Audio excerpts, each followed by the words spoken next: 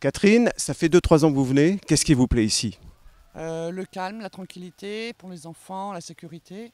Et puis l'environnement, la plage est juste à côté, on n'a pas besoin de reprendre la voiture, donc euh, pour ça c'est très bien. C'est pas cher en plus? Ah non, pas du tout, non, je pense que ça doit être à peu près dans les 7 euros par jour, je crois. Donc ça permet de mettre la caravane de bonheur et puis d'en profiter tout l'été. Alors moi, ça fait euh, bah, 3-4 ans que je mets ma caravane ici et puis euh, j'apprécie énormément. euh, Et en général, vous restez combien de temps?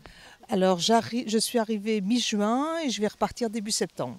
Donc c'est que l'endroit vous plaît. Voilà, exactement, parce que je suis, euh, j'habite Mondeville, mais je suis en appartement et ici, bah, j'ai que des avantages de grand air. Quoi. En RLS, vous êtes invité ici aujourd'hui. Qu'est-ce que vous pensez du camping? Super En plus, nous avons, vous avez rajouté, euh, la ville de Mondeville a rajouté un petit mini-golf qui attire beaucoup les jeunes. Christine, vous êtes la présidente de l'association des campeurs de l'espace Pierre Soissemier. C'est une association toute jeune, elle a été créée cette année. Quel est le but de cette association?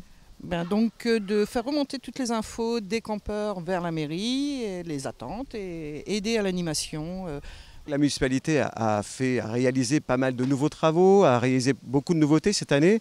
Je pense d'ailleurs à l'entrée principale, aussi au sanitaire. Qu'est-ce que vous pensez de ces améliorations? Ah ouais, je trouve que euh, franchement depuis 2-3 ans c'est vraiment, euh, vraiment au top. Ça arrive petit à petit mais euh, tout est fait pour que les gens reviennent aussi au- à l'espace. Caroline, vous êtes l'animatrice de l'espace Pierre Soissemier cette année.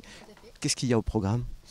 Alors, il y a pas mal de choses. Il va y avoir concours de pétanque, concours de château de sable, euh, du molki, du football, du beach volley, pique-nique sur la plage, soirée années 80 de prévu avec euh, l'association des campeurs. Et mini-golf derrière, euh, des glissades, plein de choses au programme et surtout en fonction des envies des gens.